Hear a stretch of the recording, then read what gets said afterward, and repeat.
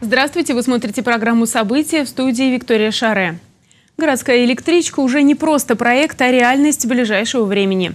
Руководитель филиала РЖД и глава городской администрации Олег Фурсов подписали соглашение о сотрудничестве. Оно станет основой для реализации многих проектов в ближайшие три года. Подобные соглашения планируется заключить и с другими крупными предприятиями Самары. После подписания документа разговор о будущем города и роли жителей состоялся с сотрудниками железной дороги. Соединить южную и северную части Самары, сделать дорогу до центра города доступной, быстрой и удобной для жителей отдаленных районов. Призвана городская электричка. О проекте много говорили, и вот его реализация в ближайшем будущем.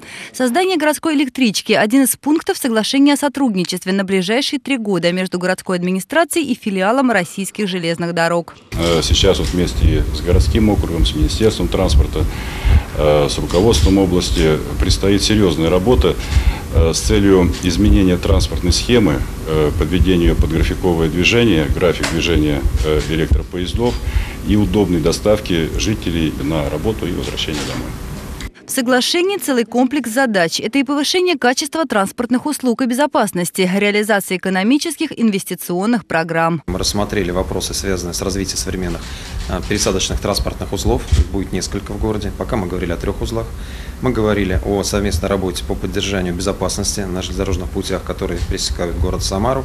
И вопросы, связанные с а, поддержанием а, порядка и благоустройства в зонах, примыкающих к Куйбышевской железной дороге планах по благоустройству и световое оформление мостов. Кроме того, есть и социальные моменты. Поддержка сотрудников железной дороги, помощь в решении жилищных вопросов. Как меняется и будет меняться город, глава администрации Самары Олег Фурцев обсудил на встрече с трудовым коллективом Куйбышевской железной дороги. Большие усилия и средства в этом году не только на ремонт дорог, но и на благоустройство, в частности газонов, обрезку старых деревьев. Повышенное внимание восстановлению детских садов. 13 отремонтируют за год. Готовы готовы документы для начала ремонта еще в трех детских садах. Позитивные перемены в городе невозможны без поддержки и инициативы со стороны жителей. Реформа местного самоуправления, пожалуй, главную роль в этом процессе отводит горожанам. 13 сентября предстоит выбрать депутатов районных советов. Они будут представлять интересы трудовых коллективов, общественных организаций, работников бюджетной сферы. Словом, всех самарцев. Люди будут нести выбранную ответственность перед вами. Будут смотреть вам в глаза, смотреть в глаза тем жителям, рядом с которыми они живут. Каждый район получит и свой бюджет, а тратить его будут именно на решение тех проблем, которые в первую очередь волнуют жителей. Коллектив Куйбышевской железной дороги не остался в стране. Три самых активных сотрудника готовы войти в районные советы, чтобы представлять интересы многотысячного коллектива предприятия. Марина Кравцова, Константин Головин. События. Полтора десятка улиц в разных районах Самары комплексно отремонтируют в этом году. По поручению главы администрации Самары Олега Фурсова сезон работ в 2015-м стартовал значительно раньше обычных сроков, и соблюдение графиков находится под постоянным контролем. В ремонт средства, на которые выделили из областного и городского бюджетов, войдет замена бордюрного камня, благоустройство тротуаров и работы на проезжей части. Не остались без внимания и улицы в отдаленных районах города. Долгожданные работы по укладке нового асфальтового покрытия события ведутся на Пугачевском тракте в Куйбышевском районе.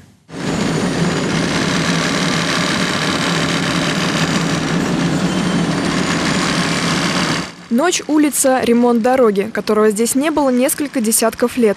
Работа в самом разгаре. На Пугачевском тракте необходимо отремонтировать участок проезжей части общей площадью более 30 тысяч квадратных метров. Для этого используют асфальт на граните, который уже успел зарекомендовать себя как надежное покрытие. Это идет однослойное покрытие. Э, без нижнего слоя. Происходит фрезерование, промели, прочистили э, вдоль бордюра, если есть бордюр в городе, э, сняли полоску, которая остается от фрезы, и приступили к укладке после розлива битума или битумной эмульсии. Большая часть работ уже выполнена. При этом важно, что для комфортного движения транспорта ведутся они исключительно в ночное время. На участке работает 11 единиц спецтехники и более 30 квалифицированных специалистов. Контроль очень жесткий. На каждую тысячу квадратных метров берутся пробы. А, проверяется толщина асфальта, проверяется уплотнение, проверяется зерновой состав. На данный момент пока замечаний не поступало. А, пробы проходит, и мы э, работаем в соответствии со стандартами, с ГОСТами. Автолюбителей такое долгожданное обновление радует. По их словам, состояние дорог в Куйбышевском районе и в целом по городу улучшается. Конечно, нужно было здесь делать, потому что здесь я ремонта давно не наблюдал. Угу. Вот. Сейчас вроде все хорошо, машина не так шумит, как и раньше. Так вроде хорошо все. В Самаре полно ремонтируют. По юных пионеров часто ездию. Там вообще отлично сделали дорогу. Благодаря тому, что дорожные работы в 2015 году начались по Самаре значительно раньше, многие проекты уже находятся на завершающей стадии. Соблюдение графиков на постоянном контроле руководства города. В целом, за счет средств областного и городского бюджетов до конца года восстановят улицы в разных районах Самары, в том числе Ульяновскую, Рабочую, Земица, Шостаковича, Мариса Тереза, Антону Овсеенко и другие.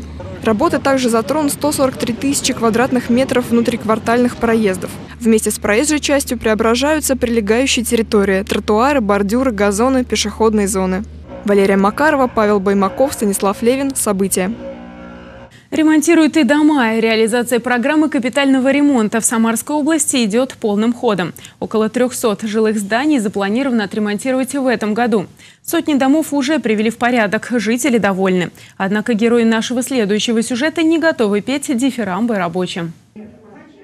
Собрали из того, что было. Новая сантехника в квартире Ирины Черепановой, как конструктор с деталями из разных наборов. Если вы посмотрите, бачок другого цвета, а крышка унитаза третьего цвета, и она не подходит. Обратите внимание на крышку.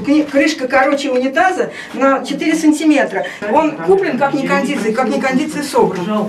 Новые батареи и трубы на кухне протекают. Материал, из которых они сделаны, сжимается и на стыках образуется щель. Вот видите, они ржавые. То есть, когда идет опрессовка, вот это все начинает капать капать. Надо протирать. Случай не уникальный. Хозяева всех 108 квартир 59-го дома по Пензенской могут похвастаться чудесами новой техники. В доме сделали капитальный ремонт за счет средств фонда капремонта. Поменяли сантехнику в квартирах, отремонтировали систему отопления. Наглядно видно, какие материалы использовала подрядная организация, нанятая делать ремонт. То есть это прям классика неправильно применения. То есть здесь должна быть компенсация правильно. То есть эта труба, она будет расширяться и вот этот узел будет двигаться. То есть, в принципе, в какой-то в нейтральной температуре она должна быть вертикальная. Нагрелась, а, она туда отойдет, а, сильно охладилась, сюда отойдет. Сейчас, вот представляете, например, вот ее еще сильнее заморозит, она еще сдвинется еще дальше. Соответственно, просто лопнет вот здесь шов. В стоимость капремонта входили и работы по замене электрооборудования. Поставили патроны для лампочек в 25 ватт. Жители за свои деньги поставили новые. Можно вот эти новые поставили. Можно. Вам да, можно все. Недавно поставили, уже другие. А те вон, они на полу валяются, все сго... патроны сгорели. У нас чуть пожар не был в подвале в ночное время. Подписывать акт приемки выполненных работ жильцы отказываются. Они недовольны не только результатом, но и самим процессом. Подрядная организация начала ремонт зимой, надолго оставив людей без воды и отопления. Подобные случаи зарегистрированы не только в Самаре, но и других городах России. Ответственность основная должна лежать на а, заместителе директора по техническим вопросам, по производству и так далее. То есть, смотря как структура выстроена. И следующее – это подрядная организация. То есть а, у нее тоже задача не просто как у нас сказано, срубить деньги. А, им надо сделать качественно свою работу, достойную, хорошо заработать, но сделать ее очень хорошо, чтобы к ним потом опять же приходили. Активисты Общественного народного фронта намерены выяснить, кто контролирует расходование денег, выделенных фондом капитального ремонта, и как жители участвуют в процессе согласования работ. В многоэтажке на Пензенской они помогут провести экспертизу, чтобы жители смогли обратиться в суд. Марина Матвеевна, Сергей Баскин. События.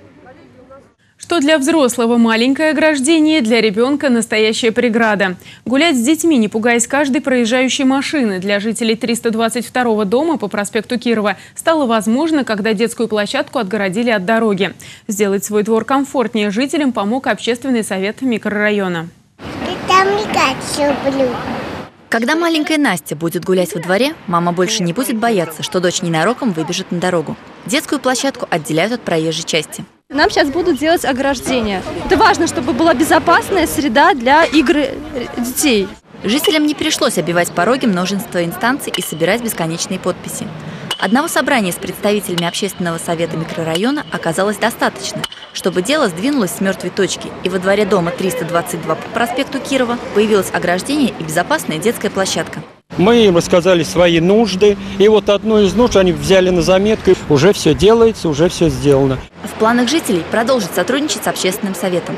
Здесь уже появилось новое освещение. Постепенно, надеются жители, люди перестанут мусорить. Люди уже приходят на наши площадки и говорят, что здесь детская площадка, нельзя ни пить, ни курить. И у нас уже чище. Я довольна. Единственное, чего не хватает, нам э, нужны деревья. Огородить дом от шума и пыли. В ближайших планах – благоустройство детской площадки. Общественный совет планирует установить здесь футбольные ворота и сделать тротуарные дорожки. Вместе только с жильцами, а, с общественным советом микрорайоном, а, с командой губернатора мы можем а, благоустроить дворовую территорию, делать жизнь лучше и созидать уже конкретными делами. Жители этого дома – настоящие активисты, готовые дальше участвовать в жизни своего двора. Вместе с властью определять, на что прежде всего стоит обратить внимание. Люди, которым не безразлична судьба Самары, войдут в команду созидания. Им предстоит продолжить общее дело благоустройства города. Дарья Трофимова, Константин Головин. События. От малого к большому, от разговоров к делу. Сквер возле Дома печати возвращают к жизни. Убирают мусор, приводят кустарники в порядок. Жители уже предвкушают тихие посиделки в сквере у дома. Подробности в нашем сюжете. Скверик рядом с Домом печати всегда считался идеальным уголком для мам с колясками, влюбленных пар и пожилых людей. Здесь уютно, прохладно и тихо. Пока это место не облюбовали любители горячительных напитков. Сквер получил дурную славу и кучу мусора в придачу. Рабочие оперативно исправляют положение, пока сквер не превратился в свалку. Увидели, где маленькая кучка, и давай туда дальше докидывать. А если чисто? А если чисто уже, конечно, будет уже покультурней. Сигнал о необходимости обратить внимание на эту территорию и включить ее в план работ поступил от жителей в общественный совет микрорайона Парковый. Такой механизм взаимодействия позволяет обращать внимание власти именно на те моменты, которые в первую очередь волнуют горожан и оперативно решать вопросы на местах. Сегодня такой день, что с мертвой точки сдвинулись наши все разговоры, и мы от разговоров переходим уже к реальным делам. Будем максимально э, убираться везде, где только возможно, убираться разными силами, приглашать также организовывать на уборку самих жителей – и активнее включать э, все службы коммунальные, которые тоже к этому имеют отношение. Так, малыми шагами к большой цели. Каждая приведенная в порядок территория, как кирпичик, в общее благоустройство всего города. Вопросы, требующие больше времени и финансов, общественники берут на контроль. Чтобы помогать развитию Самары, формируется команда созидателей из неравнодушных людей, нацеленных работать на благополучие и комфорт в родном городе. Общими силами решать вопросы своего двора, микрорайона. Очевидно, за таких людей и проголосует население 13 сентября на выборах в районные советы депутатов. Марина Матвеевна, Сергей Баскин. События. Тем временем школьники вовсю наслаждаются летом. Занятия каждый подросток выбирает себе сам. Кто-то предпочитает отдых, активный и не очень, а кто-то использует это время, чтобы заработать на карманные расходы. С пользой для здоровья и семейного бюджета проводит лето Лида Шерстнева. Школьница уже второй год подрабатывает на каникулах в ботаническом саду. Найти работу по душе ей помогли в молодежном центре «Самарский». Сюда может обратиться каждый подросток и найти для себя интересную вакансию. Мне нравится работать с цветами, с растениями. Здесь очень хорошая обстановка. Очень нравятся колокольчики, ромашки. Этим летом ухаживать за редкими растениями сотрудникам помогают 63 подростка. В ботаническом саду детей ждут уже с апреля. Работы хватит на всех. Мария Соболева в ботанический сад устроилась сразу после окончания института. Теперь готова поделиться многолетним опытом работы с молодежью. Если бы не дети, мы бы не справились. Это честно. Как только у нас сезон начинается, мы уже э, с центром занятости начинаем э, сотрудничать. Сейчас приходят дети, которые приходят заработать деньги. Это уже совсем другие дети. Полоть, поливать, обрезать кустарники – основные обязанности школьников на рабочих местах в ботаническом саду. Именно в ходе трудового процесса они узнают много нового и интересного о редких растениях. Навыки, полученные здесь, считают ребята, могут пригодиться полем, полем. цветы сажаем, обрезаем винограды. В будущем на цветы ландшафтного дизайнера хочу пойти. У нас отдел дендрологии. Здесь есть еще теплицы, еще там цветоводство. Я по жизни больше ручной труд предпочитал. Как вакансия попалась, пошел сюда. Потом понравился, остался. Вот второй год работы. Мы вот в прошлом году как работали, работали, так практически всей бригадой снова и оказались. На время летних каникул в рамках целевой программы «Молодежь Самары» уже полторы тысячи подростков нашли себе интересные вакансии. Более ста предприятий предоставили рабочие места в разных сферах деятельности – благоустройство и озеленение, промышленность и сфера обслуживания. Особое внимание соискателям из малообеспеченных и неблагополучных семей, а также ребятам с ограниченными возможностями здоровья. Это важный воспитательный момент, который позволяет ребятам в будущем а, с уважением относиться к людям труда, с уважением относиться к будущей профессии. А во многом, может быть, это первое рабочее место. Оно определит их будущую профессию, выбор образовательного учреждения. Какую вакансию выбрать, каждый для себя решает сам. Информацию о рабочих местах для подростков можно получить в молодежном центре «Самарский». Дарья Трофимова, Алексей Золотенков, Константин Головин. События. На работу вышли и подростки из малообеспеченных семей поселка Мехзавод. Трудовой десант привел в порядок территорию одной из центральных площадок района. С самого утра в сквере у Дома культуры «Октябрь» кипит работа. Школьники поменяли гаджеты на кисти и лопаты. Эти подростки осознают всю важность дела. Мне кажется, то, что эта работа как бы идет на пользу как бы обществу, то есть что мы а, убираем, я не делаю это как бы ради платы все-таки ради общества. Я собираюсь, да, э, работать тут до конца лета, то есть в августе, а, и потом опять идти в школу. Трудовые отряды в поселке Мехзавод были созданы по инициативе местного общественного совета. За три года существования через них прошли почти три сотни подростков. Число желающих провести лето с пользой для общества только растет. А у наставников всегда есть чем занять молодежь. Проблемные площадки у нас есть, их немало. Например, сейчас вот такая есть площадочка, это вдоль завода, э, вдоль забора завода, это на дорогу на поселок ФСЧ, Красный Пахарь. Можно организовать уборку у нас на территории 10 квартала, это тоже там, ну, заросли. Вместе с детьми благоустраивать дворы выходят и взрослые. Не сидеть сложа руки, а самим решать все проблемы – девиз местных жителей. Они помогают власти обращать внимание в первую очередь на то, что важно горожанам. Такие неравнодушные люди должны войти в команду созидания, которой предстоит сделать Самару более комфортной. Выборы в районные советы депутатов состоятся 13 сентября. Дарья Трофимова, Илья Овсяников, Алексей Золотенков. События. Подростки, оставшиеся летом без контроля со стороны взрослых, развлекаются как могут. Одна из модных тенденций – селфи в неожиданных, а главное опасных местах нередко приводит к трагедии. В погоне за авторитетом среди пользователей соцсетей все больше подростков забывают о собственной безопасности. К чему это может привести, выяснил наш корреспондент. Возможно, скоро подобные фото окажутся вне закона. Безопасностью детей озаботились депутаты Госдумы. Парламентарии предлагают ввести крупный штраф для родителей отчаянных подростков. Сейчас он составляет 500 рублей. Что заставляет молодых людей рисковать ради виртуальных лайков? Ежедневно в соцсетях появляются сотни самострелов. Если я хочу, то я это сделаю. За родителей переживаю. Но как бы так получается то, что о родителях ну, не думаешь, когда лезешь. 500 рублей – это не деньги. Не будет травмы. Все как бы безопасно. Конечно, не боюсь нет никаких сомнений. Уверен в себе, залезу, сделаю, если нужно. Не дает покоя подросткам популярность Александра Ящерицы.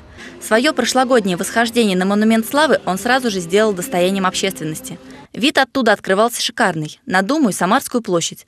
Особенно понравилась атмосфера площади. Я просто взял и сделал это, не задаваясь вопросом «зачем?», делится впечатлениями подросток. Александр – один из немногих счастливчиков, чьи похождения не обернулись трагедией. Владислав – альпинист, кандидат в мастера спорта. Но он уверен, что руфинг – так называется новое опасное увлечение – элемент позерства, не более. Экстрем должен быть со страховкой. Я считаю, что это не объективный риск и не нужно подвергать себя таким вообще рискам. Есть люди, например, которые лазят на высотки, на башенные экраны, при этом показывают себя, и все это просто является показухой. Можно сделать очень интересные кадры безопасным способом при занятиях, например, альпинизмом, э, там, дайвингом, скалолазанием, болдрингом, автоспортом. В сети идет гонка за лайками. Виртуальный мир постепенно вытесняет реальный. Я онлайн, значит я существую. Психологи предупреждают об опасности подобного мышления. Селфи вызывает зависимость. А зависимость это всегда ну, некий исход, некое убегание от жизни. Вот. И, ну, разумеется, когда ты публикуешь фотографии, но ты не удовлетворяешь свою потребность, ты же не, ну, общаешься не по-настоящему, ты получаешь не настоящее внимание. Человек, который лезет на кран, он не понимает, что ну, его жизнь подвигается опасности. Он э, вот эту вот жажду, вот эту вот адреналин, она затмевает. Башенные краны, стройплощадки, высотные дома – излюбленное место фотографий экстремалов. Но опасность может скрываться не только там. К линиям электропередач тоже не стоит приближаться. Электричество в проводах способно убить на расстоянии до 40 метров. Электрический ожог – сомнительная цена за лайки в соцсетях. Для российских экстремалов в МВД даже разработали специальную памятку. Если и это не подействует, то запрещающие знаки могут появиться на улицах российских городов. Дарья Трофимова, Илья Овсянников, Алексей Золотенков. События.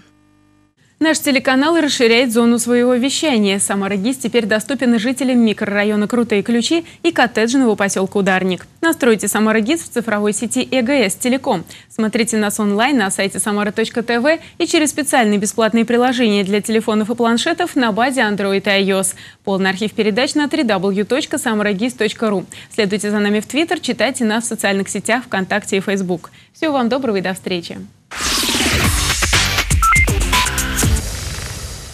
Кто берет в долг, приобретает печали. Народная мудрость.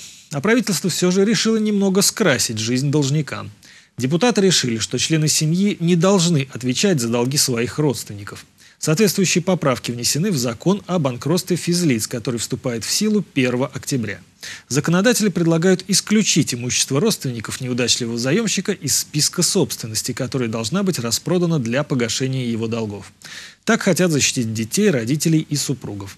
Сам закон о банкротстве физических лиц направлен на то, чтобы гражданин, утративший возможность расплатиться по своим долгам, не пошел по миру. Россиянам не хватает денег на платную медицину. По сравнению с 2012 годом число таких ответов возросло на 10%. А вот число тех, кто лечился в частных клиниках за последние три года, сократилось почти вдвое. Самое веселое, что увеличилось число довольных качеством государственной медицины. Хотя по многим характеристикам бюджетным медицинским учреждениям стоит стремиться к повышению качества обслуживания. Платные же клиники, по мнению россиян, всем хороши, кроме стоимости услуг. В нынешнем году размер средних затрат на лечение составил 9 тысяч рублей. В общем, денег нет, не болей. Тоже народная мудрость. Самым частым поводом для обращения за медицинской помощью в заграничных поездках традиционно являются воспалительные заболевания дыхательных путей. Это страховщики туристов посчитали. На эти заболевания приходится практически 40% обращений – Рейтинг стран по количеству обращений за медицинской помощью возглавляет Таиланд. На втором месте Кипр, на третьем Греция, далее следует Болгария, Германия, Индия и Испания. Чехия занимает восьмую строчку рейтинга, на девятом месте Австрия, замыкает десятку Вьетнам. Наиболее травмоопасными странами считаются Австрия, Италия, Германия, Кипр и Болгария. В общем, хорошего отдыха, без травм. А у меня на этом все. Удачи в делах.